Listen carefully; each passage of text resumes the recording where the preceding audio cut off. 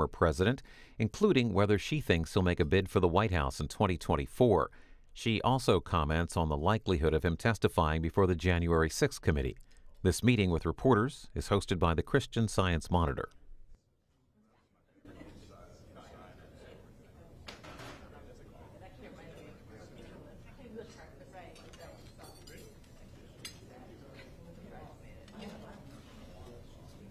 Okay, are we ready? All right, all set? Of course. All right, good morning. I'm Linda Feldman, Washington Bureau Chief of the Christian Science Monitor. Our guest today is Kellyanne Conway, former senior counselor to President Donald Trump. This is her third appearance at a Monitor breakfast, so welcome. Um, first, a little bit of background. Ms. Conway is a native of Atco, New Jersey, and has degrees from uh, Trinity College, now Trinity Washington University, here in D.C., and from the George Washington University Law School. But she found her calling as a pollster and uh, over the years has advised many Republican candidates, um, and finally, of course, advised um, Donald Trump, and in 2016 made history as Mr. Trump's campaign manager, uh, becoming the first woman to manage a successful American presidential campaign. Ms. Conway served as senior counselor to President Trump from his inauguration until August of 2020, but I'm going to guess that her two favorite titles are mom and maybe champion blueberry packer. Oh, yeah, for sure. But you didn't put that in your book. So I noticed. Um, from her days as packing blueberries as a teenager in South Jersey. Also have to ask, are you a Phillies fan? I'm a, I'm a Philly fan. I'm really an Eagles fan. Eagles, Ah, Yankees. Eagles. Well, they're both- about it's not fair. They're bipartisan both- as I get. they're both yes, doing but we're amazing. excited for the Phillies. So, all right, now for the ground rules. We made the wrong kind of history last night. The Phillies. That was yeah. crazy. Um, anyway, uh, we're on the record here. Please, no live blogging or tweeting. In short, no filing of any kind while the breakfast is underway. Um, there's no embargo when the session ends at 10, and we will email pictures and a rough transcript from this breakfast to all the reporters here as soon as, as soon as we finish. Um, as you know, if you'd like to ask a question, please send me a signal, and I will call on as many of you as time permits. And now, um, Ms. Conway, if you'd like to make brief opening remarks, the floor is yours. Well, thank you very much, and thank you, each and every one of you, for being here and for your questions. Please proceed with your breakfast. I was raised by four Italian women. We believe in eating at all times, so uh, enjoy, mangia, enjoy your breakfast. so, I look at the 2022 midterms, and I see what is perhaps the most straightforward, least complicated issue set I've ever seen in the 34 years of doing this. I think voters have been pretty straightforward for over a year now as to what, at a broad level, is motivating them. What keeps them up at night, if you will, as we would ask in focus groups. And this will not strike you as brand new information, breaking news. It's rising costs, it's rising crime, it's a little bit of uh, continued concern over education. Parents don't say, I'm a demographic cohort to be managed or pursued, I'm not an interest group to be studied. I'm, I'm a parent, and they're still incredibly concerned over the after effects, the, the longer hangover, the letdown over the lockdowns, the, the reduced test scores, the emotional and mental challenges that Gen Z is telling pollsters, admitting to pollsters, are very much front and center for them. And so that I think that with parents um, and even non-parents, frankly, there is it's given education maybe a sustained outsized level of importance in midterms, even at the federal level, where folks are saying, well, you gave the COVID money for the schools, or you were in charge of. Um, you, you had a lot to say with shutting down the schools, et cetera, but they don't want it to end with, thank God, which has been the end of the most serious part of COVID. Um, so I'll talk a little bit about that. Um, of course, after the Dobbs decision, abortion became more important on the ballot. I think there was um, outsized coverage of how important it is to pro-choice Americans. It's also very important to pro-life Americans, and many of them will show up to vote this time because of that decision as well. We all know, uh, CNN admitted it a few weeks ago, that abortion is, quote, faded was their term, so I'll adopt it. Uh, faded from intense importance. You see that it's really diminished in the polls in terms of a top three, top five issue. If you're asking people what are the most important issues, if you're asking them how much each of the following issue is extremely or very important to you, it does rise up a bit. And I believe a lot of the votes that have already been banked in early voting do include an awful lot of pro choice voters. Um, they were motivated in 2022 to come out and vote early, much the way they were motivated in 2020 to come out early and vote against the president in power. So many of those votes have been banked. I believe those people did show up um, by and large. But as I wrote in a op-ed just this week for FoxNews.com, women are not single issue thinkers, so we're not single issue voters. We are multi thinkers, we are multitaskers. Therefore, we are multidimensional voters, putting an awful lot of issues, individuals, ideas, and impressions into our big voter cauldron, stirring it up and making a choice. And this year, uh, women and some other groups like Hispanics are trending more Republican. It's for any number of reasons, but the shift in the Wall Street Journal poll, as released just this week, since August of 2022, a double digit shift 20 some points among suburban women who are 20% of the electorate, as the journal reports, um, has been pretty dramatic. You really don't see shifts in voters, but particularly female voters, that dramatic that quickly. You'd have to go back and see um, so, some pretty important events and inflection points for that to be the case. And it does also tell me something that's completely confounding to me that the Democrats allowed them allowed this to continue and fester and do what I would say is the most minor course correction in having the bully pulpit and having the first female vice president of the United States and having some surrogates out there like Bill Clinton and Barack Obama. I think they should have done what they're doing now in November, in September, and August. And they, they, they didn't do that. And they are trying to tell America what's important to America. Americans have a way of telling us what's important to them. So trying to make this election about January 6th, about Trump, Trump, Trump, about just abortion, about climate change, hasn't worked because this time Americans are very, very straightforward about what's important to them. Uh, one of my last points, I think the Republicans, um, curiously and remarkably, surprisingly, have had incredible message discipline. That's not always the case. And they have also done a fantastic job of recruiting candidates that look more like America. And so the electorate is not just changing for the Republican Party, Linda and colleagues. The, the number of candidates who are running and winning as Republicans is also changing. So we have 81 women running for office this time. We had a record number in 2020. We busted through that number again. We have a record number of candidates of color, of veterans, of people of very diverse backgrounds who come to the table as the Republican nominees at every level and, and, talk about those diverse backgrounds, talk about why they're Republicans. Oh, you don't look like a Republican, whatever that means. Itself a little bit of an insult. But they, then they explain why. They are not just voting Republican, but running as Republican. And I think the fact that the NRCC and these committees just this last week announced new six-figure investments in congressional districts that Joe Biden carried by double digits two short years ago is part and parcel of that meaning these candidates who are running, they're already there. They're not just placeholders. Not like, oh, I'll take one for the team and make sure we have a, a Republican nominee. They've been waiting for their breakout moment. They've been waiting for a, a, Republican trending year and the resources to be there to give them that little extra move. And in some of those races, frankly, it's not, it hasn't gone from uh, lean D to lean R. It's, it's migrating over to toss up or from solid D to, to lean D. And in a good Republican year, those are the kind that can be swept in um, last minute. But I'm really, I, have campaigned with many of these candidates. I've met most of them. I'm really most impressed by how our bench is being built and filled by incredibly um, vibrant and articulate and committed, enthusiastic, ready to go, ready to run candidates who are half my age. Some of them are very young. As I say, many of them have diverse backgrounds.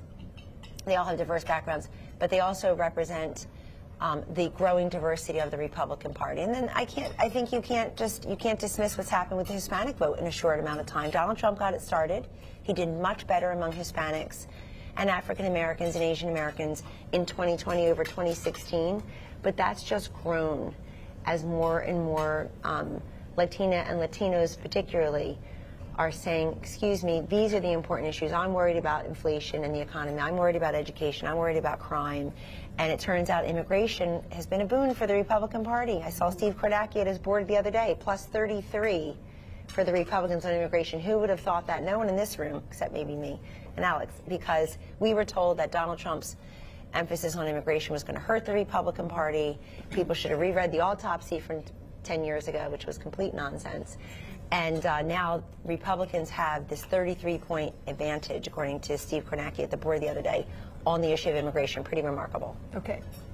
Right, thank you. Um, I'll start with a few and then we'll move to others around the room. Um, so I have to ask you is democracy on the ballot, as the president said? Well, democracy is always on the ballot because uh, one vote, one person is enshrined in our Constitution, and it's. I think it's one of the most equalizing factors for people who otherwise feel that they don't have a voice or a choice in many ways in this country anymore.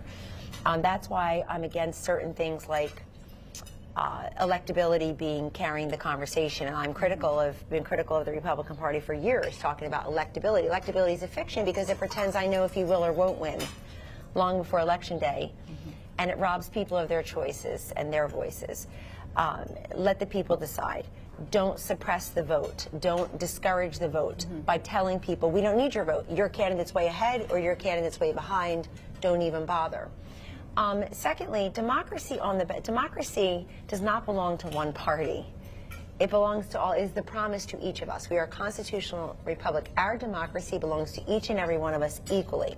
So the fact that the Democratic Party, and frankly, some of you enabling them, respectfully, believe that they own this idea of democracy, protecting democracy, is foolish. Are you concerned though about uh, unrest, violence, about uh, or about people maybe even just not voting at all, either because they're worried about some kind of crazy things happening or uh, that they maybe say Republicans thinking, oh, we've got this, I don't need to vote. Well, I, I worry, yes, you talked about that outdoor.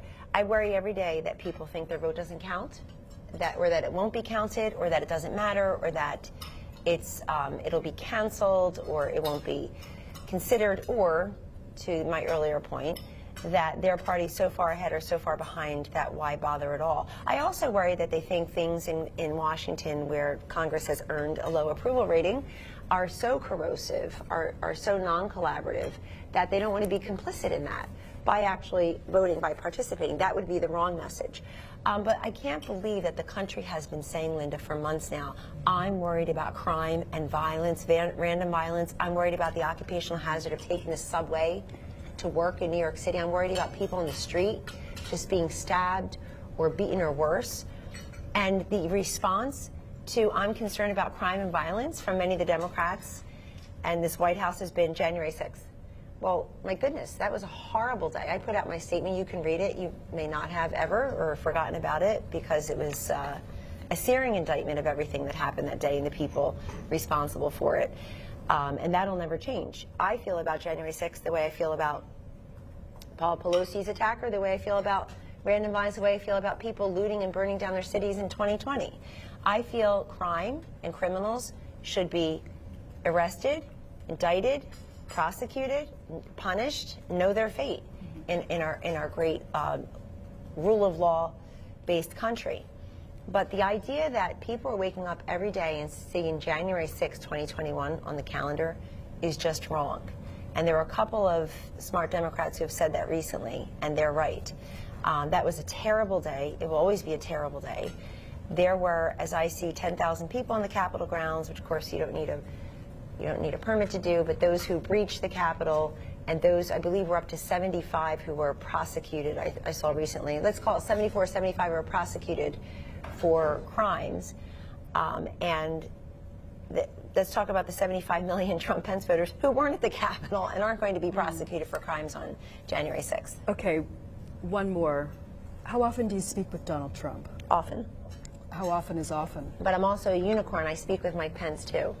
You mean they don't speak, speak to each other? Equal in equal measure, or do you? Um, well, I won't reveal that. I just will tell you that I, I feel close to each of them and have for a very long time. I was Mike, Mike Pence's pollster before he was um, tapped to be the vice presidential nominee and, of course, mm-hmm. the president. I think they made, um, they did fabulous things for this country together for four years. Mm-hmm. It was a nasty divorce in the end, but they need to find a responsible way to co parent uh, the future of the party and the conservative movement.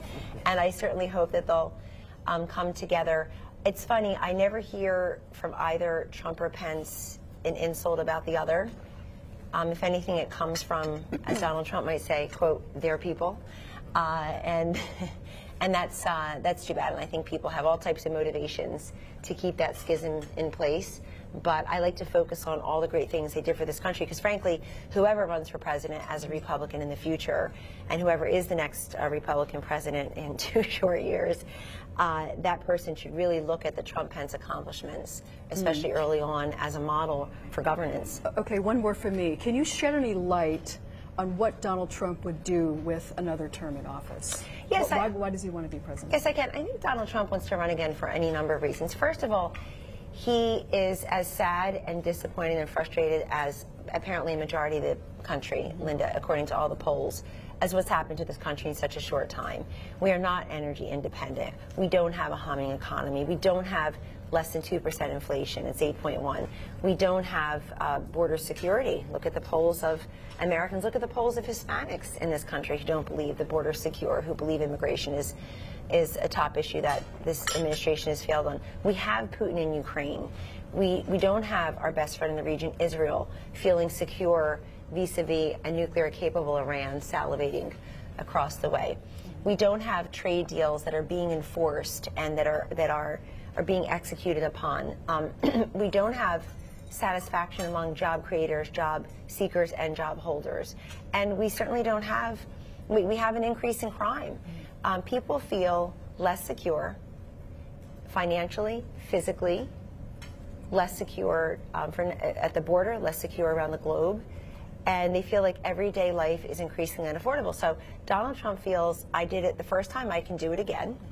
And if he runs a binary choice election, he certainly can prevail. If he just reminds you of life under President Trump and life under President Biden and sticks to those binary mm. contrasts on the record, he's got a good story to tell. Number two, the reason he wants to run is he thought he would still be there and the entire second term agenda um, structured and a lot of that is still being run through America First Policy Institute, AFPI, which is the think tank that is sort of not just preserving his the policy legacies of the White House administration, but also how do we move it forward for the next administration. And number three, Donald Trump agrees with a majority of Democrats that we cannot have Joe Biden again in 2024.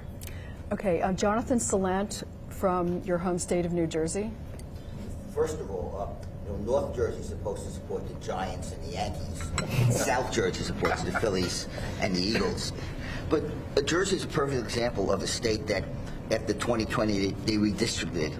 They made, basically made nine safe Democratic seats, including the one where you are.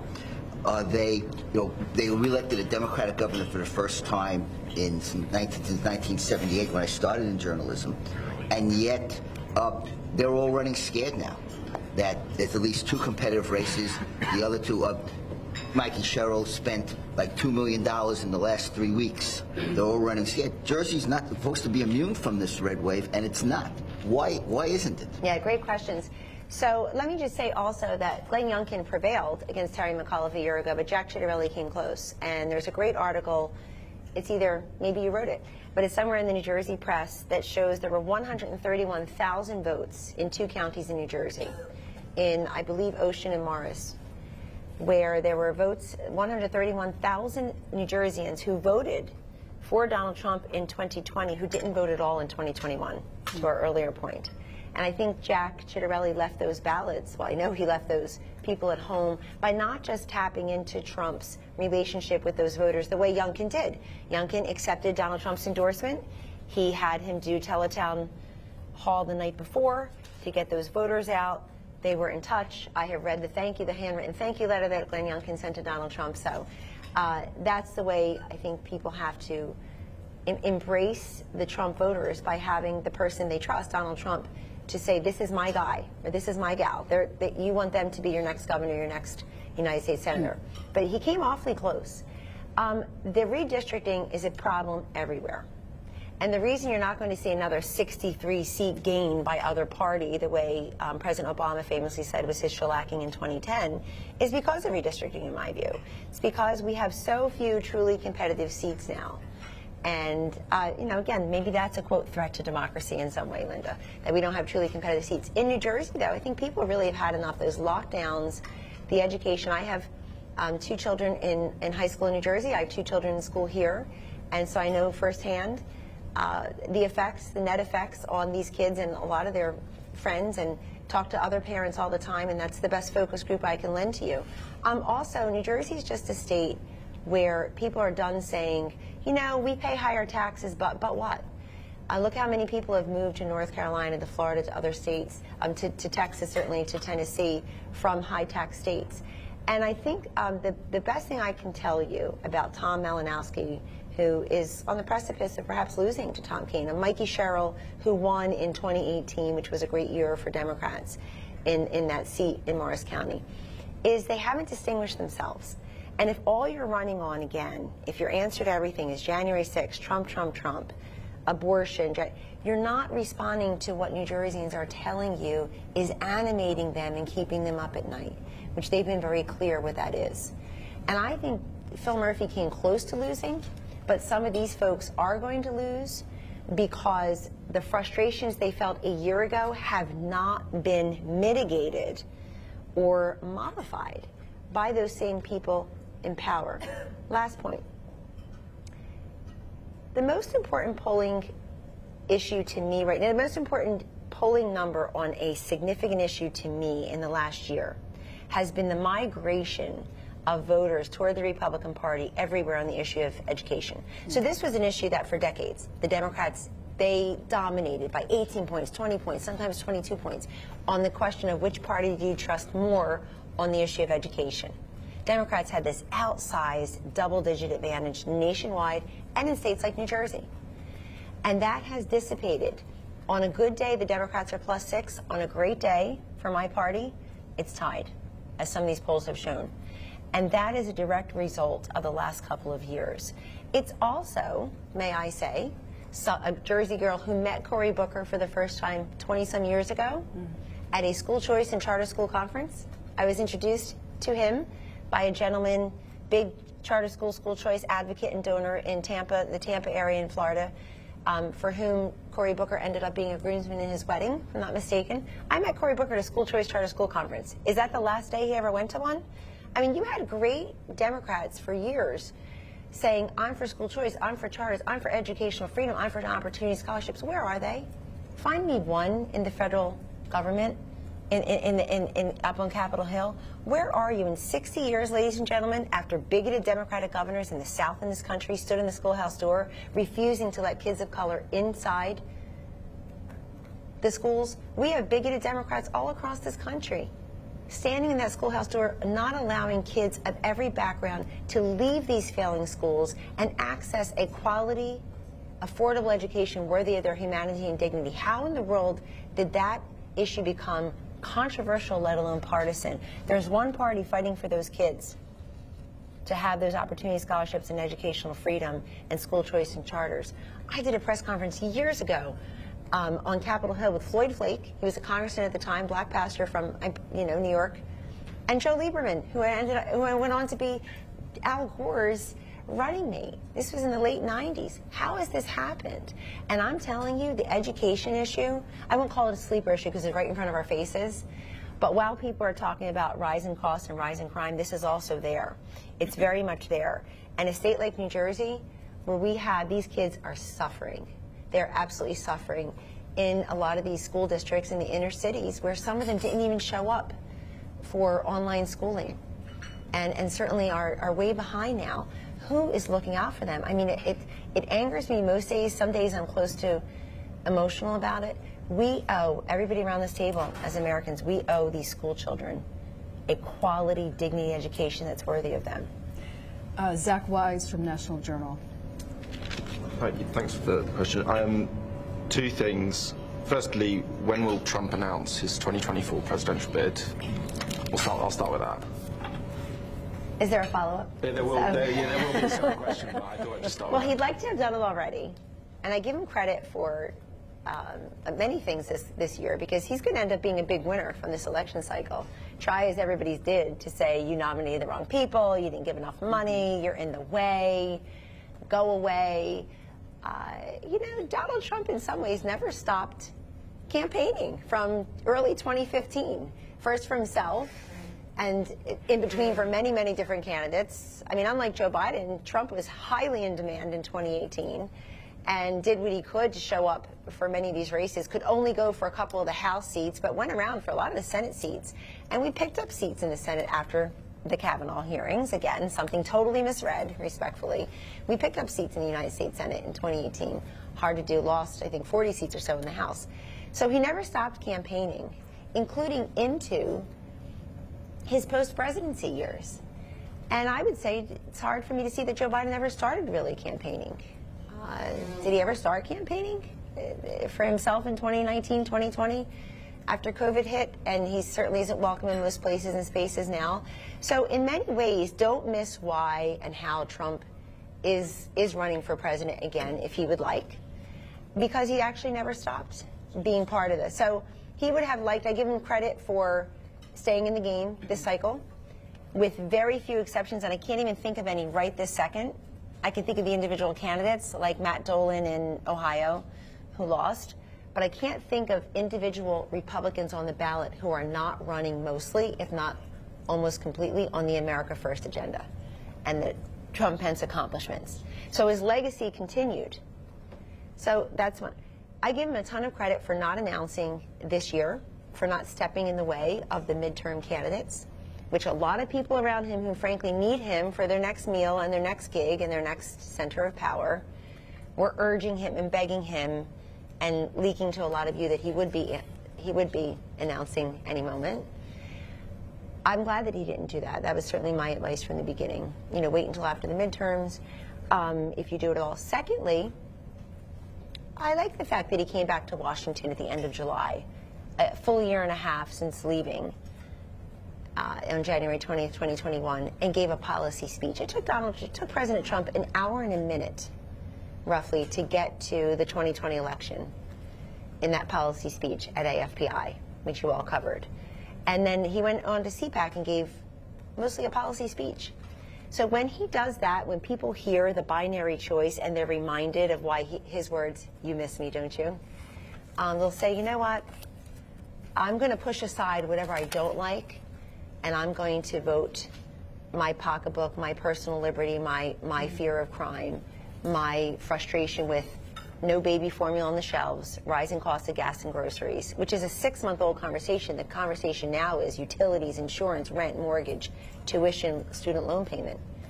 So I think you can expect him to announce soon. Um, obviously, there's a family wedding coming up on his property, and uh, election day is late this year. But um, as he would say, wait and see. And then I, you know, and then he's got a lot to think about too, though, because the super PAC obviously can't be converted into a presidential um, source of funding. It, he's, I, I ask him all the time. I asked him this summer, what happens to your fund and your funding? He said, what do you mean on the funding piece? He was very conversant with what he can and cannot do. He'd obviously been um, deeply briefed on that, and he knows. He knows that already.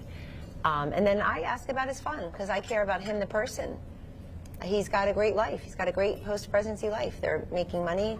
Again, he's um, involved in the. Know, here's somebody unlike President George W. Bush or President Bill Clinton, President Barack Obama. They left the presidency after two terms as young men, and that was it. I think one of the worst things could ever happen to those gentlemen is a cabinet secretary, former cabinet secretary, a former senior staffer saying, "Oh, Mr. President, hello, I'm running for office. Will you help me?" Oh, geez, you know, I've left all that behind. Donald Trump is just getting started, so he loves this stuff and wants to continue.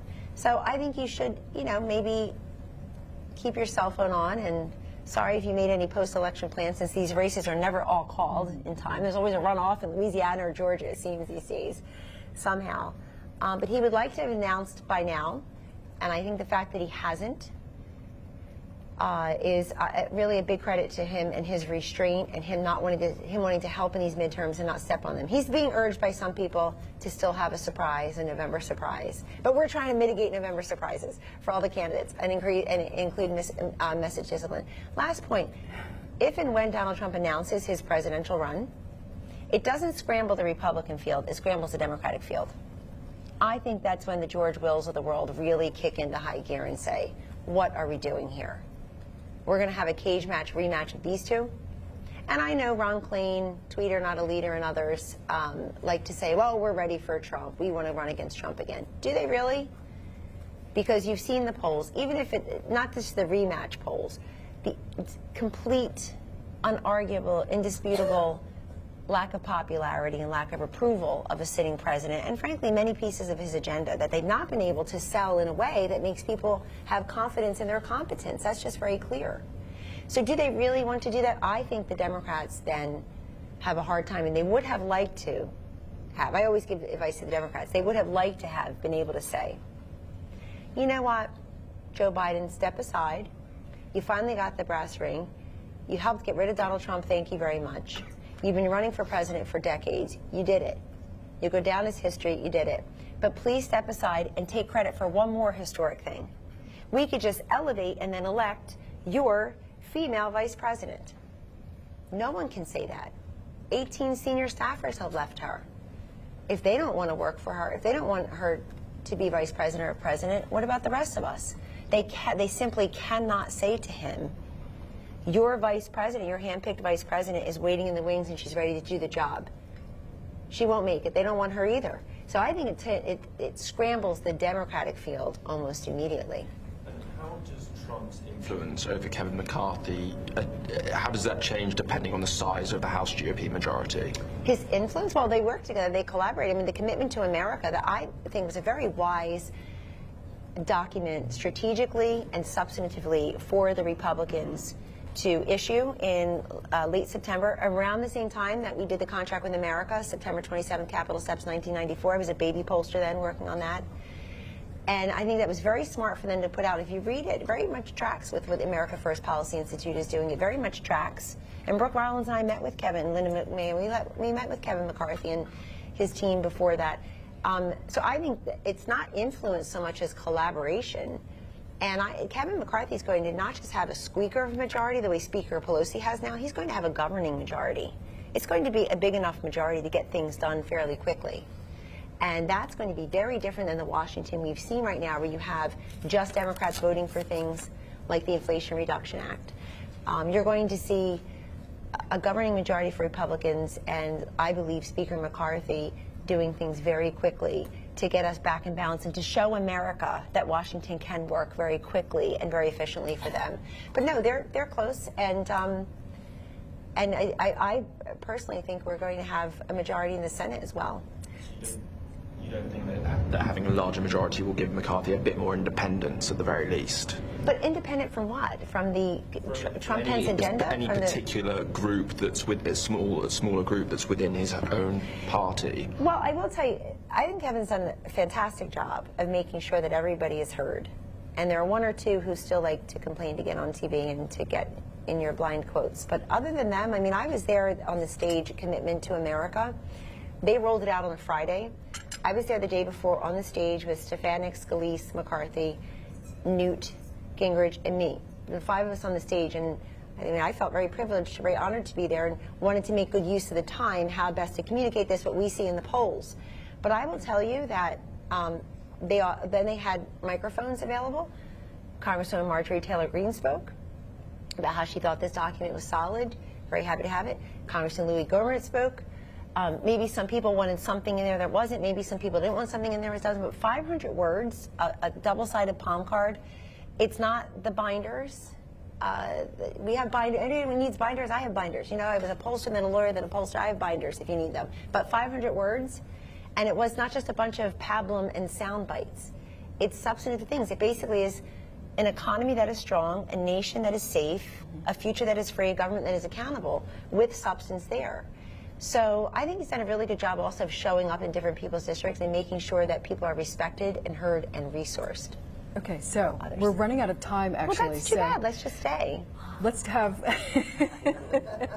uh, John Gizzi from Newsmax, and then I've got a bunch of others, so let's thank have you, like Linda. lightning. Thank you, Kellyanne, for coming this morning. Do you see a change in the zeitgeist in the Republican Party coming, in other words, becoming more of an America First party with Cheney and Kinzinger and other dissenters leaving the party or just getting out of politics altogether? Remember, my stock and trade is the voters. So I, I focus mainly on the people and not just the people who represent the people or who would like to represent the people. I mean, the gift of my professional life has been to uh, literally go to all 50 states at least once to do projects, to literally sit in focus groups, to look over the data. And that's been such a gift because you end up having such a deep respect for and understanding of the people. And, and, and some of the best ideas I've ever heard and have applied politically have come from the voters. Uh, they have a lot to say, and they, they have essential wisdom. They thought this through. So I think the realignment of the Republican Party right now, and this to me is going to be a realignment election because we are going to do better among women and suburban women. We are going to do better among Hispanics. We are going to do better again among working class men and women, non-college educated men and women um, who've been very hurt in this economy and by energy dependence. So we're going to do better in places and spaces that are, will surprise folks. And I look at that more. But in terms of the America First Party, the answer is yes, but it's truly the party of the worker.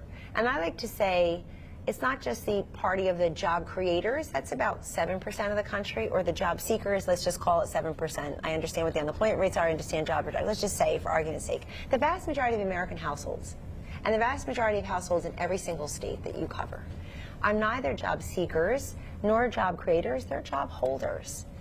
And I think the realignment for the party, John, is which party speaks to all of those issues? What are you concerned about? How in the world did I read in the Washington Post two months ago mm -hmm. that one of the fastest growing new groups of homeless in our country are single moms who have a job? I could not believe what I'm reading. I just got goosebumps repeating it to you. How in the world can that be? That you're a single mom who has a job. You're doing the best you can and it's not enough. So people are saying, John, when in the world did the job not become enough? If your grandfather had a job or my grandfather had a job, it was enough to support the family. Yeah, maybe things were tight or tough, but you figured it out. And now people feel like it's things are just not enough. So that's the alignment. As for Liz Cheney, who I've known for many years, Adam Kinzinger, they both, um, well, he retired, she lost her reelection. Um, I don't think they want to go down as being known for essentially one thing. Um, especially in the case of Congresswoman Cheney, who I've known for a very long time. I took my kids out to Wyoming two summers in a row to help raise money for her. Um, I respect the public service of the Cheney family. Um, she is a bona fide expert, you know, female Republican expert on national security and foreign policy issues, but I don't hear much of that anymore. So, uh, um, but I, I don't worry about this person or that person. My job is to listen to the people. And I have never heard the people so loud and so and so of a single mind on what is bothering them going into these midterms. Gabby, sorry, John, can we keep going? Okay. And maybe maybe later. Uh, Gabby Orr from CNN. Hey, Kellyanne, thank you for doing this, and thank you, Linda. Um, you've talked earlier about Republican candidate recruitment this cycle and how they've had success getting candidates who look more like Americans, who are younger, who are more diverse. Um, as we approach the midterms and shift our focus to 2024, do you think that it would be a mistake for the Republican Party to renominate Donald Trump in a presidential primary? Does that is that a you know step back in, in terms of candidate recruitment and putting fresh blood forward? No. Well, first of all, that's up to the voters completely, and it's up to the voters in the different states. So I never rob the voters of their choice and their voice. I think we've got an incredibly strong, solid bench moving forward, and I think the Democrats haven't built theirs, much to my surprise. I'm, I'm totally surprised that they haven't. I'm, I'm, surprised they've allowed sclerosis to set in um, in some of these Senate races, even, which should be safe. They should have been put away. When you've got Tiffany, Tiffany Smiley in Washington State keeping 30 year incumbent Patty Murray under 50% in all polling, including ours, it tells you something. When Maggie Hassan is, is arguing um, to keep her seat, you know, against a Bolduc, who we were told is the wrong person, and Chuck Schumer helped to make him the nominee. Thank you so much. Um, first, he gave ridiculous investments to the Lincoln Project, and then he gave ridiculous investments to make sure some of these Republicans were the nominees, um, and, and they seem to be holding their own. No, Donald Trump's theory of the case is not the age or the gender.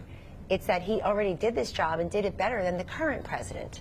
So if you have that binary choice starkly in front of you and you strip away everything else and you just say, Donald Trump, Joe Biden, energy under each, border under each, Putin under each, gas prices, baby formula, national security, physical security in our communities. But let's face it, things won't be stripped away. There will be a lot of you know, think, uh, issues and ideas flying out there in the ether. So, um, and then he'll have to decide who he wants as his vice presidential nominee if he becomes the nominee. But look, I think if Donald Trump announces, there will be some people who run against him. I'm fairly confident of that.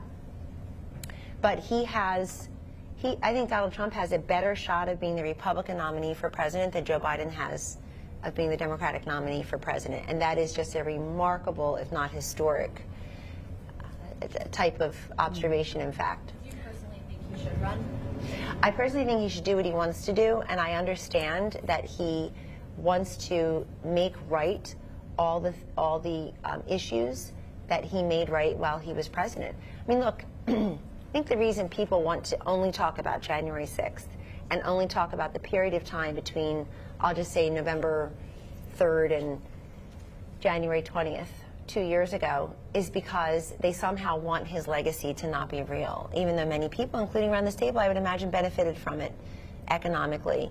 Um, people want back somebody who is willing to challenge the establishment, who's willing to make tough decisions, who works with a volume and velocity that is breakneck. And uh, sorry, I worked in a White House where all we heard all day was chaos and crisis, chaos and crisis, chaos in a tweet, a crisis in, in the situation room, in answer to, I mean, excuse me, crisis in the briefing room in answer to a question where now we have, I mean, my goodness, you don't have a press secretary who can do what I'm doing here. For those of you listening and not watching, no nets, no note, no binders here, no, no lies.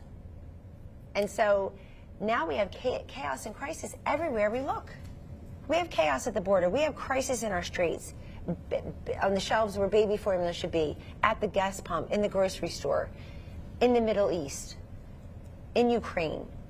So, again, and I always hear, and I hear this a lot from donors what about so and so? What if we can have all the Trump accomplishments without Trump? Well, what if we could have the Trump agenda without Trump? Well, the Trump agenda, five of those 11 letters, A, G, E, N, D, A, five of the 10 letters of Trump agenda are Trump. So you could try, but I think many people will say, why would I take a chance on an heir to the Trump agenda when I can have the real thing. Are you thinking we'll about see.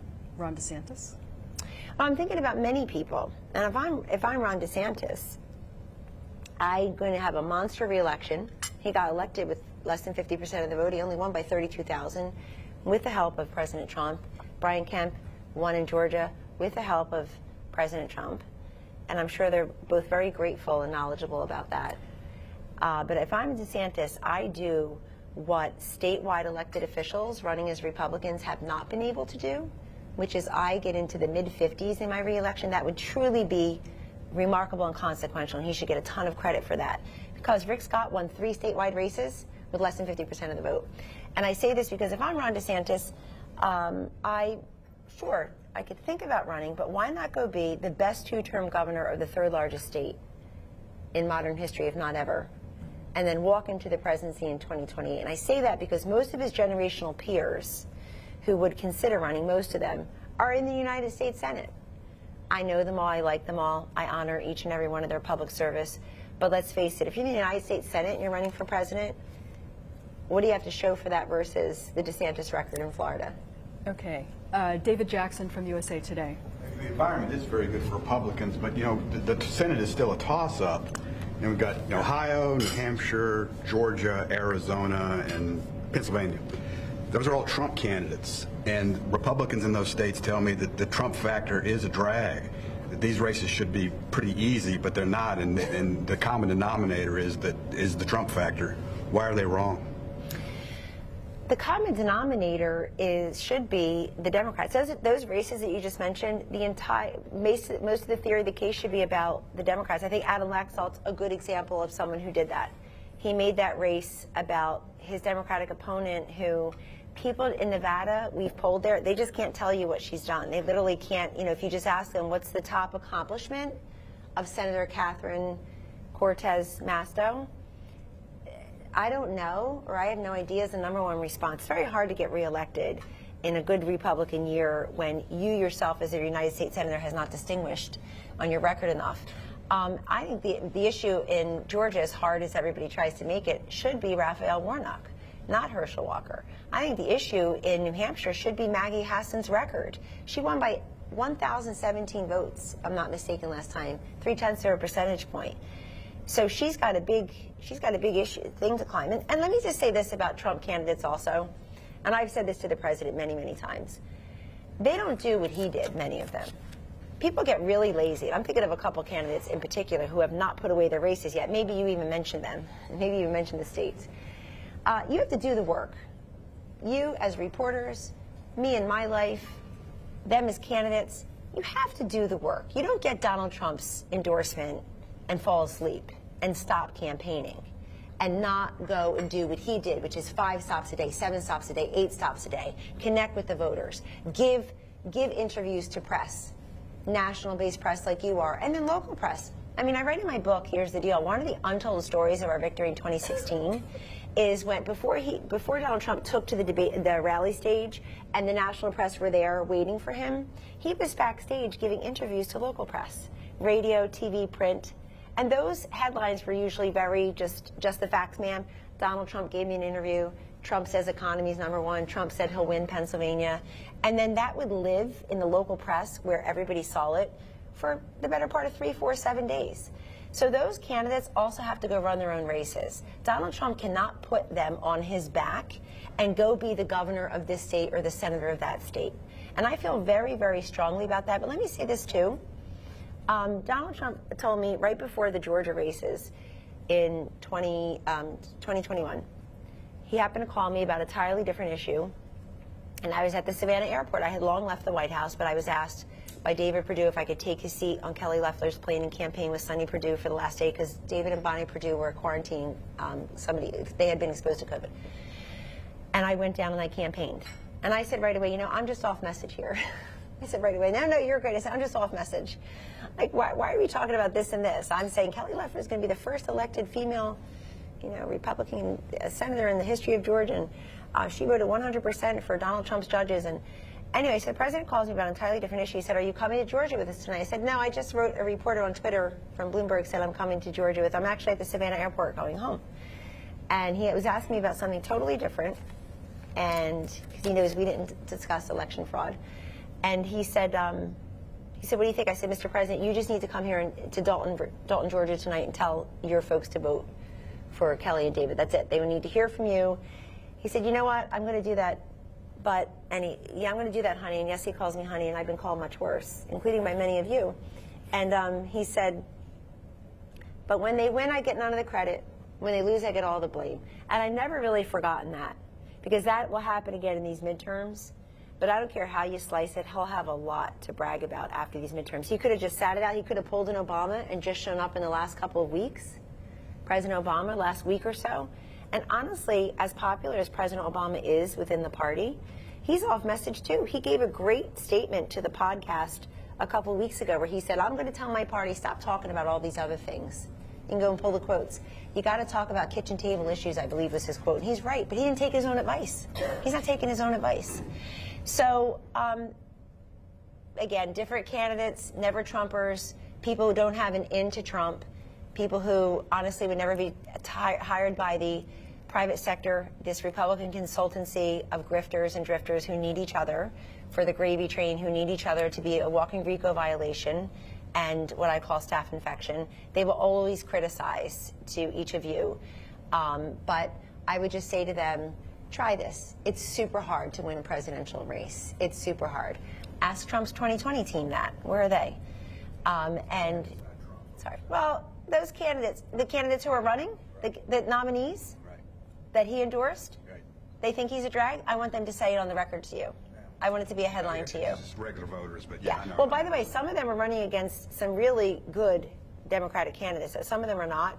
But I would just tell you, it's it's very different. They they have to, you know, they have to run their own races. Frankly, they have to connect. You have. There's no substitute. You want to run for office? I don't recommend it. But guess what? You have to connect with the voters. You do. No one else can do it for you. Not your ad makers. Not ex-presidents named Obama or Trump. You have to connect with the voters. Okay, Tom LoBianco from Yahoo. Hey, Glenn, thank you so much. Um, you recall, of course, the many rumors about replace, potentially replacing then Vice President Mike Pence on the ticket to bring in a woman to run. At, you know, two, two, three years ago, it was Nikki Haley. Um, now we have that same dynamic where you hear uh, Marjorie Taylor uh, Greene's name floated routinely, among others. It gets to that core point, though, of how why does Trump have so much trouble with independent women voters, and why would that change? And again, too, and you don't need to tell you this, that this was the Javanka calculation going into 2020. Would actually adding a woman running mate change that at all in 24? Well, a few things. I just wrote an op-ed on FoxNews.com. You can pull it I talk about all issues are women's issues. I, for 34 years of doing this, have never heard the term men's issues. Not a single time. Have you? Anybody here ever typed the words men's issues? Of course you haven't. Because the presumption is that men can handle all the issues. We could, you can do the economy and energy and Putin and and is, Israel, and you can do border security and crime, and you could throw in a little bit of education and healthcare if you need to. But that women are only you know, women's issues. So women care if you share their gender, but they really care if you share their position on issues and vision for the future, and if you hear them. So President Trump, if he runs and he gets the nomination, if he runs, he will get the nomination, in my view, of course. Uh, he'll pick a, a, vice presidential running mate. I've had these discussions with him that he's comfortable with, that he thinks complements his his presidential run or his presidency, and will not be interfering with getting back to a great economy and energy independence and the like. Um, whether that's a woman whether that's a candidate of color. I mean, we'll see. We'll see what happens. I wouldn't put much stock into any one name or anyone or anyone who's on the list or not the list, who has a, a good PR team to get their name out there. But I think he's got a wide aperture of possibilities. There's no doubt. On independent women, though, we can't have it both ways. So let me sew up this conversation. If independent women, as the New York Times poll said, moved 34 points in a month from Democrat to Republican on the generic ballot, if the Wall Street Journal poll this week showed suburban women migrating over since August to now, over two months, by 26 mm. points. Uh, that is Donald Trump's party. That you're saying you're all saying that's Donald Trump's party. They can't get it. They, he can't get out of his own way. It's still Donald Trump. It's still Donald Trump. It's, can't have it both ways. Either he's the nominee of a party where those shifts are taking place during a midterm election between two of his presidential elections, where he has been still this larger than life figure, very involved in midterms, or he's not. So if you sew it all together, he will benefit from that. Look, I think independent women, first of all, we beat Hillary Clinton, the queen bee herself, who would have been, quote, the first female president of the United States and never will be. And women were a majority of the voter. I rest my case. In other words, there are ways we knew how to communicate with women. I think in 2020 they did a terrible job with women and terrible job. I'm very critical of the 2020 campaign in my book. They had 1.4 billion dollars, and we're running against Joe Biden, the same Joe Biden we see every day. Just in the basement, but the same Joe Biden we see every day. $1.4 billion, thereby proving the old adage the fastest way to make a small fortune is to have a very large one and waste most of it. But they did terrible among women and independent women, suburban women, for a couple of reasons, not least of which is the number one issue then was COVID. People were legitimately afraid about COVID, and they needed a better response. Does that number of independent women, the plus 34 swing, does it increase or decrease with Trump actually on the ballot in 24? Uh, I think it, will stay the same. Um, it, it, let me say this. Does it increase or decrease? It's not static. So let me amend my answer. I think he's got a great, I think the Republican nominee for president, including President Donald J. Trump, has as best a shot as ever uh, um, as a challenger campaign, which is what this would be. So let me, let me say that, as a challenger campaign because these presidential candidates always do better among women, normally do better among women the second time. Um, George W. Bush, Ronald Reagan, certainly, with Geraldine Ferraro on the other team's ticket, et cetera. But I, I also will say that the Kamala Harris factor is important here. Women are very negative about her right now. Her disapproval rating has been stuck where it is it's very hard to watch her battle that teleprompter and see the teleprompter win every single time. And people know what they see and what they hear. This is not racism and sexism that leads to her disapproval ratings. This is eyesight and hearing. And if she were, if there were, if there were, if she was remotely competent and confident in her job, I'm telling you, they'd be able to say to Joe Biden, step aside because she can beat Donald Trump. And we can have two terms of the Biden Harris. You know, she'll, she'll go and have two terms. We can have three terms of Biden Harris. The way George Herbert Walker Bush had three terms of Reagan Bush, for example. We can have three terms of this, the way Hillary wanted the third term of Obama. So they can't do that. But I think it's, look, none of it is static. It's all issue based. And let me say this we in this country, we protest and pontificate in groups. We vote as individuals. And that one vote, one person enshrined in the Constitution, the principle enshrined there, that one vote happens very privately, ladies and gentlemen.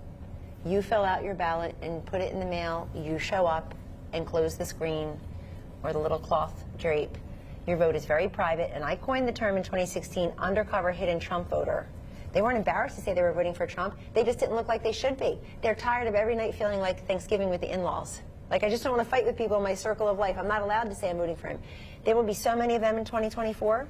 You won't even know how to. You won't even know how to keep up with them. They weren't there in 2020. When I heard his campaign saying, "We have a hidden undercover Trump voter," no, you don't. They're wearing their red MAGA hats, standing in the snow, waiting for him at a rally. They're having boat parades on the weekends. They weren't hidden but they will be again. Okay, so it's it's 10 o'clock. We started a little late. Can, oh, keep Can you going. take a few more? Okay.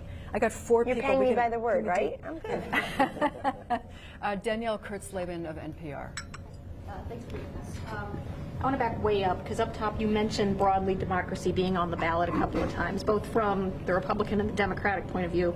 But I want to ask about denying election results specifically because to, to what degree do you see that uh, doing that as weakening democracy, whether it's via, you know, somewhere via knock-on factors causing violence or just people losing faith in the process. Doesn't that eventually, at some point, make it harder to govern?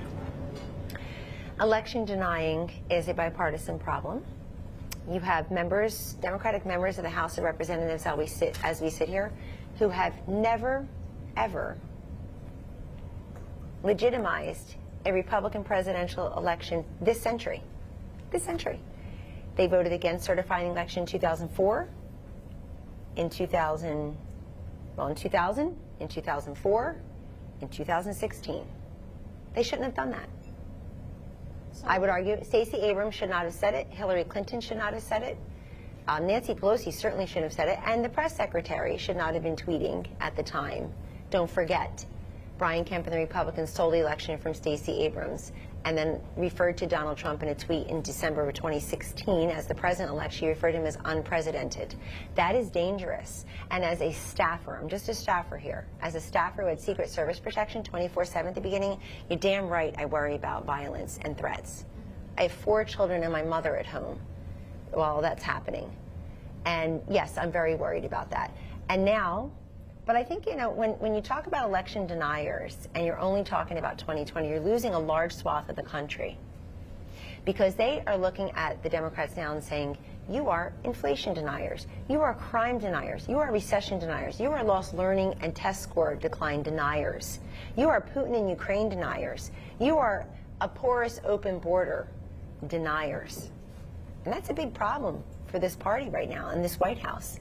I cannot believe, I'm happy he did, because it's so weird and it's so tone deaf, but Joe Biden picked another place that's three miles away from the White House last night to give a speech, days before the midterm elections, while early voting is in earnest in many places. And he gave a speech about democracy on the ballot. It, it just, it makes no sense to me. He can do that, he's welcome to, but he is not acknowledging people's pain and their frustration. So when you say, if you say, I've seen this a, a, a lot now, um, so-and-so's an election denier and they're going to be Secretary of State of the state or they're going to win governor of that state, how can that be? Don't forget all the things that people are looking at, including that. But I will tell you as a Republican, I was very worried, very worried that what happened in Georgia in 2021 with the two special elections was going to happen almost everywhere or could have happened anywhere in the primaries in 2022, meaning Republicans will say, forget it. It's not fair. My vote doesn't count. You're going to steal it again. I'm not going to vote. Instead, we had record turnout. in these primaries in so many places and much higher than Democrat. So that enthusiasm for voting a Republican Senate or Congress, and in some places governors, overtook people saying, I think it'll never be fair again. Uh, I'm very concerned now. Look, I got to tell you, if something's that important to us, and election should be that important to us, graduation day, wedding day, election day, what happened to election day? It's like election trimester. We do it two months before election day, and we're counting the ballots three weeks after. That just can't be. I mean, that just can't be. People are reporting, you know, very deplorable conditions um, in these in these voting precincts where you want people to volunteer. I've got my two 18-year-olds about to cancel each other's vote out on Claudia and George, first-time voters in Bergen County, and um, uh, they we want young people to say, "Let me get in there." But again, if you only see a candidate through one prism, you're not seeing that candidate the way the voters see that candidate. I want to start with that. You're not, whether it's Donald Trump, Joe Biden, Kari Lake, uh, John Fetterman. I'll give you two, two, from two from either party. If you see Kari Lake, you say election denier, you don't see the woman who articulates policies on the issues that people are starving to hear while her opponent can't tell you what she's going, how she's going to help one third of the electorate. Is you know sounds like the Taco Bell dog, frankly, when she responds to a very simple question about what would you do for Latinos and Latinas in the state. Um, I tell people all the time, and let me make very clear here: Republicans have to earn the win, and Democrats have to be made to eat and own all the policy failings and flailings of the Biden-Harris White House. If you spend all day as a Republican ridiculing Joe Biden's very obvious physical and mental challenges, and you spend all day only talking about John Fetterman's stroke, you risk losing. The art of politics is not to tell people what they can see, but what they can't see. And I think this drum, beat the drum, beat the drum, beat the drum about who's an election denier, they're election deniers, election deniers. You're not telling, people already see that. They'll already have that as part of the calculus. The job is to tell them what they can't see, what they've either forgotten about and need to visualize or what they never knew in the first place. Okay. Hugo Lowell from The Guardian. Uh, I just want to bring it back to 24. If Trump uh, runs in 24, who do you think are kind of essential people for the campaign? Like, you know, Tony Fabrizio, like Chris LaCivita, Taylor, I mean, those kinds of people? Who was the third one? Like Taylor Budowich. Uh, yeah, no, I've seen all their um, names in your stories. So we'll let them continue to talk to you about them and each other. Uh, so the, the president has, he talks to many different people. He never truly reveals what he thinks about some people, which I think is very smart of him. Um, and I think it, you know, the Bible says multitude of wisdom through a multitude of counselors, and I think that's very smart for any person in public office or who seeks public office, and that is very true of President Trump. Um, the, the three people you just mentioned, um, I'm sure would have some kind of role. And um, remember, if you run for president, there's a lot of money attached to it. I think you saw that in 2020. That's why you don't hear from some of his core team from 2020 because they're somewhere counting their money. And he's at Mar-a-Lago and Bedminster, which are really nice places, by the way, but they're not the Oval Office. And so th that'll be true, and I think there will be um, he'll, he'll continue to talk to the people who he trusts who don't need, feel the need to get their name in the paper. And he will, um, he'll also continue to consult with folks who will not have formal roles in a campaign, but who are his larger kitchen cabinet, which has been very helpful to him as well. Uh, look, I wouldn't have had that job, the first job, the campaign manager, let alone senior counsel, let alone stayed there that long, if I weren't listened to and respected by my boss. And that is a that is a situation that I think a number of people have with Donald Trump. I think that the reason I do talk to him regularly and the reason that we have a good relationship, even though we disagree fundamentally on certain things, is because we disagree fundamentally on certain things. And he likes people who deliver news, good, bad, or ugly, respectfully, and in my case, deferentially, since he was President of the United States, same way I would treat President Obama or President um, Biden if they were here. I believe in respecting the office of the presidency. I think that ought to be catching, by the way. And um, but he likes people who aren't obsequious. I think one of the dumbest things ever said about him and it was said is he only wants yes men around him. He wants people who are obsequious. No, he doesn't, because then he doesn't know where he stands. Then he doesn't. Then you're afraid to tell him an article that one of you just reported that he needs to know, or he doesn't see the pitfalls and the pratfalls of how COVID's not going to go away as an issue. It's not going to go away as a virus, not going to go away as an issue. People are very worried about it for any numbers. Women are the chief healthcare officers. They, we control two every healthcare dollar spent. They were very worried about COVID, and they were voting according to that way. So, yes, but I think he'll have a team that's familiar to you, and I think he'll have a team of, of new players as well. But also, don't forget, sure, there are some people who believe in the America First agenda, but don't forget, there's a lot of money to be made in some of these presidential campaigns. I lost money in 2016 because I was Pence's pollster for his governor reelection, and we moved him over.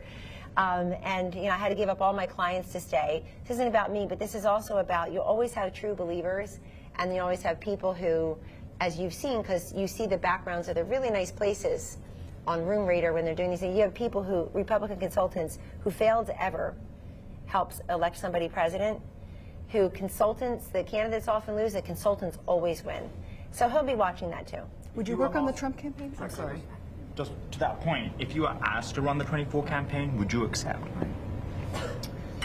I, will let I'll let President Trump make his decisions on personnel. I certainly am with a majority of this country, a majority of Democrats in this country. I don't want Joe Biden in 2024 either. Uh, Todd Gillman from the Dallas Morning News. So I have a different 2024 question. I've been taking notes. I'm sure we all have. Um, you've said today Trump is already running for president, uh, but he's just been waiting to. No, no, announce. I didn't say that. I said he's never stopped campaigning. Okay including for other people. Okay. There's a big difference. And you, you said he would definitely win the nomination if he runs. Um, but there are a couple of dozen other Republicans who are either already running or are thinking about running. So since we're short on time, could you handicap maybe the top 15 of them? Sure. Who, who, who, sure. who among them is the biggest threat to deprive him of the nomination? Well, I think the biggest threat to deprive him of the presidency, of winning, is different. So you can have a spoiler come in the way Ross Perot did in 1992. Ross Perot's best state was Maine, as I recall. He got 30% of the vote. Worst state, Mississippi, 9%. But he didn't get electoral votes. He had 19% of the national vote, and it was enough to give way to the Bill Clinton presidency. Bill Clinton won with less than 50% of the vote. He did much better the second time. But so you can have a spoiler that can't take the nomination away from you the way Pat Buchanan couldn't get the nomination away from George Herbert Walker Bush that time, but paves the way for this strong enough third party candidate. And then the president, the new president, whoever it is, if it's Biden, Trump, somebody we're not thinking about on the Democrat, they get elected with far less than 50% of the vote. That's the more likely scenario to me than somebody denying him the nomination. I think, look, in some ways it happened to um, Jimmy Carter also. So Ted Kennedy challenges him for the nomination, and Ted Kennedy wins 12 states, 12 primaries, including California and New York. Carter wins more of them, stays as the nominee, but he's so, you know, bloodied up, I think, um, against Reagan that it's hard for him to prevail. So that, for me, is the more likely scenario, and I've, I've raised that with the people who need to hear it. Um, and so, and again, I, you know, say, oh, you know, Kellyanne thinks this candidate, that candidate has a chance to be the spoiler. Well, of course they do. And I also think it'll be not just some of the folks, the never Trumpers who want to run. And it's very, again, it's very lucrative also to be a never Trump, run, never Trumper running. There are cable contracts to be had. There are books to be written. There is all the hype and glory that you never would have had otherwise because you never had it otherwise. So all you have to do is see that to know. But um, that's the part that, you know, I can see Biden or Trump easily less than 50%, it's getting over 50% and getting the electoral vote that really matters. And then I think you'll be surprised. There will be a couple of Republicans who kind of try to suss it out, see if Trump's really as vulnerable as they hear, as they think, out on the campaign trail. And then the rest is up to President Trump. Is he out there spending most of his time talking about what people miss most about him, which is a resolute decision maker who challenges the establishment and gets stuff done? That economy, particularly before COVID, is indisputably a great economy that people miss. Energy, and I got to tell you, um, I, I'm, I traffic in data. Obviously, that's what I do for a living. I have my own company again last two years, but let me tell you, Um, when you listen to people in focus groups, you'd be shocked who's willing to vote for him. Uh, it would shock you because it doesn't comport with maybe what you think. A lot of crossover Biden voters who voted for him because he wasn't Trump. So he doesn't really have a governing constituency, seems to me. I don't know what the Trump, what the Biden constituency is. I'm not being sarcastic. I don't know what it is.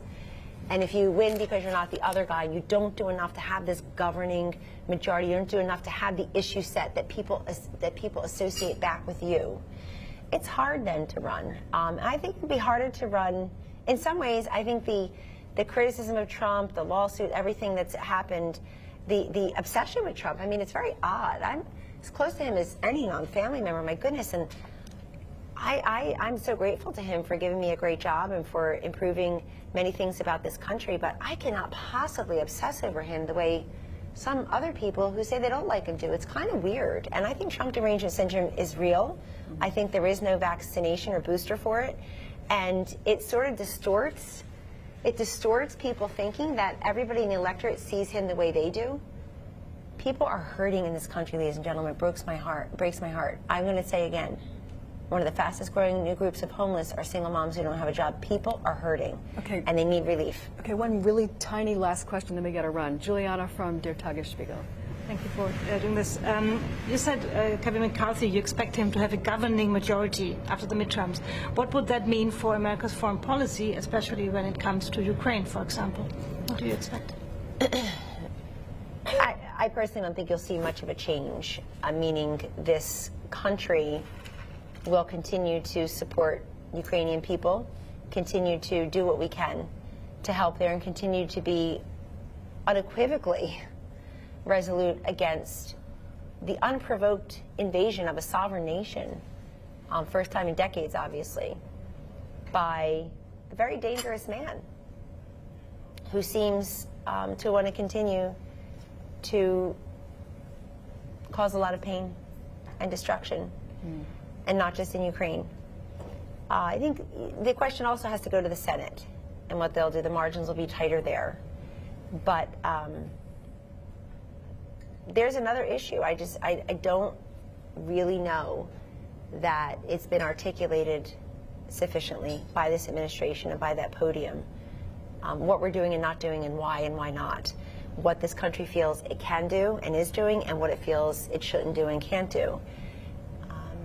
And there's that too. And let me just also say about January 6th. Uh, gosh, I I hope people know a lot more about that day than I do.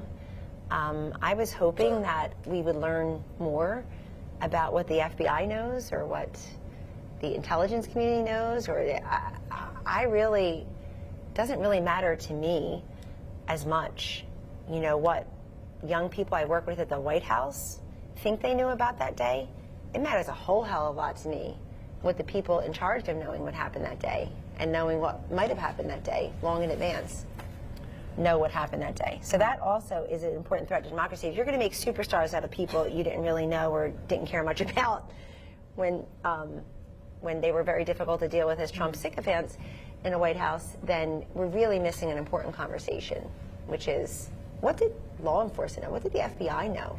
And, and, and should we know that again? Should we know that again? You're worried about violence, and I definitely am, but I'm worried about it everywhere. I'm, I'm worried about violence and criminals everywhere. It's, in, it's an indiscriminate fear and concern in this country right now, I can promise you that. Mm-hmm. So it needs to have an indiscriminate type of coverage and resolution as well. All right. Well, thank you so oh, much. Thank and you. thank you for staying overtime. No notes, no notes. Try it, Kamala. Come on, Karine Jean Pierre. You can do this. All right. Hillary, you can do this.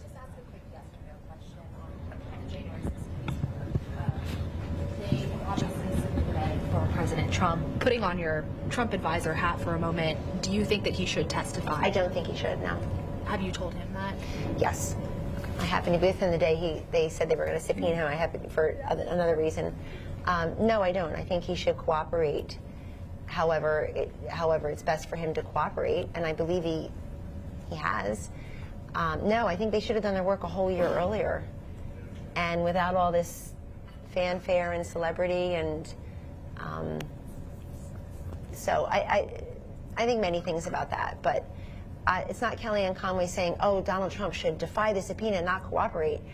Um, you know, uh, many of you covered the Mar-a-Lago raid with such relish because it looked like it was a faster way to get Donald Trump than the January 6th committee finishing its work.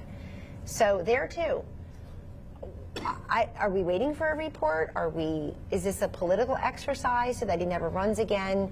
Because it's not your typical congressional hearing where both parties have seats at the table, real seats at the table, not placeholder seats, um, and where you can ask questions.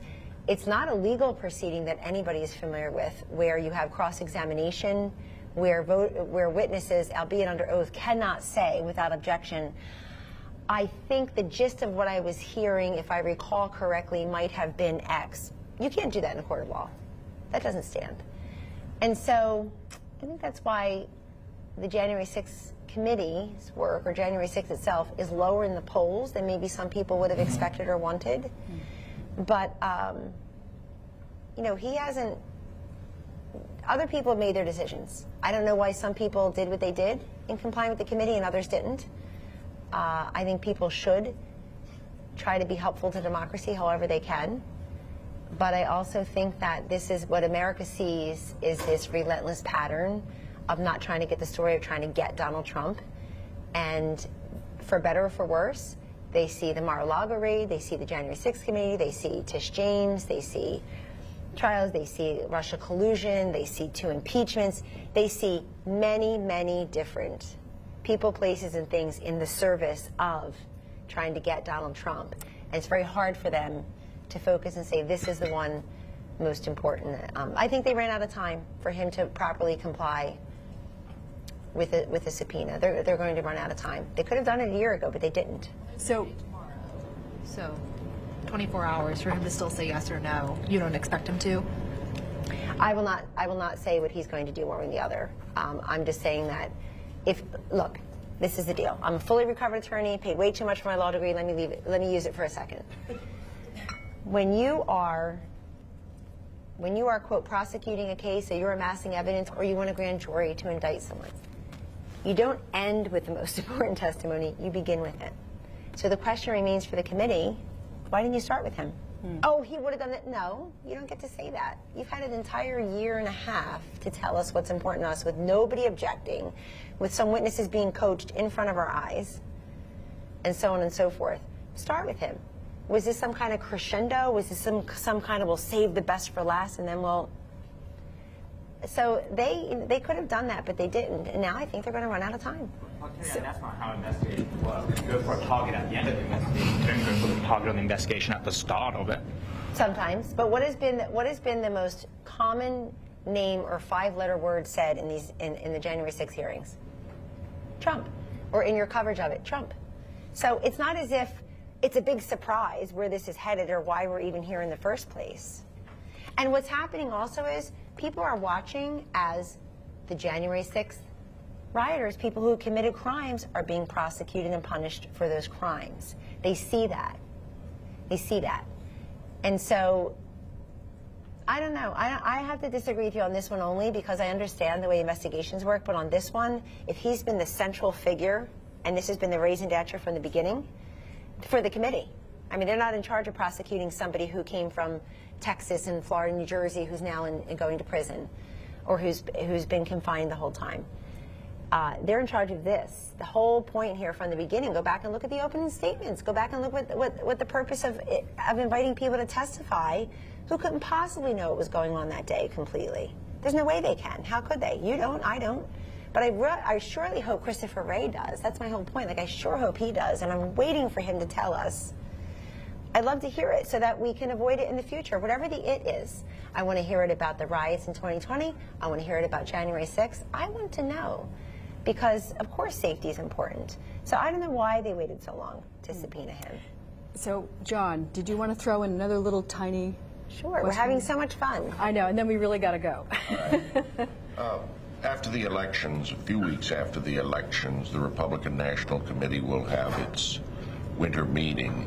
Uh, do you believe Ronna McDaniel will, should run and be elected to an unprecedented fourth term as chairman? I believe she should run, and she will run, and she will win.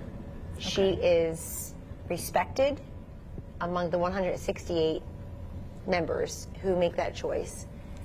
Uh, I think she's an unsung hero of the last several years, particularly these midterms.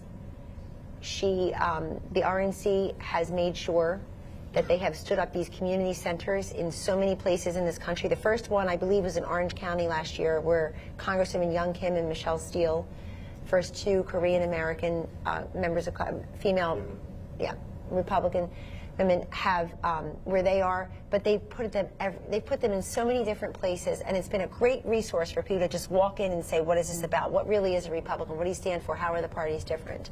They filed lawsuits when they needed to. They've said, "Let's make it um, easier to vote, harder to cheat." She's great on TV. I don't know where Jamie Harrison is. Somebody should really tell him, "Why don't you get out there and push for your party the way Ronna does?" The messaging, I think that I think they put out the best rapid response of anyone anywhere. And to the earlier questions about who will be on the campaign, uh, I think what the RNC has been able to do by keeping the president probably their best fundraiser, I would think, um, in their direct mail, on the stump. I, have been there when he has showed up at different RNC events, as has Vice President Pence and Secretary Pompeo and others. Uh, I think they've done a great job of keeping the issue agenda intact, but being a partisan organization, it is their job to elect Republicans. But they've also done a pretty good job of holding Biden and Harris and the Democrats, Pelosi, Schumer, and the rest. They've been holding them accountable. They come up with things these folks have said, like election denying. Nancy Pelosi was election denier, Hillary Clinton certainly, Stacey Abrams. They do a really great job. I think it's an enormous sacrifice for any chairman, chairwoman um, she has teenage kids. She has a college daughter. She has a, a, a, senior in high school like I, I have too. And it's a huge sacrifice, but they want her to stay. And she's done a great job. And I think if she were listened to more in 2020, he would have had a different outcome. All right, all right. Thank you all for coming and staying, um, and I hope you'll come again. And as Donald Trump would say, let's see what happens. all right. Thank you.